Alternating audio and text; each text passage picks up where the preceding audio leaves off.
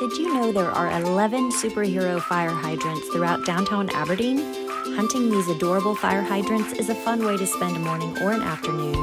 The project was created in 2019 to show how super the downtown Aberdeen area is.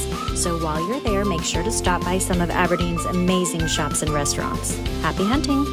And of course, follow us for all the best things to see and do in the Sandhills.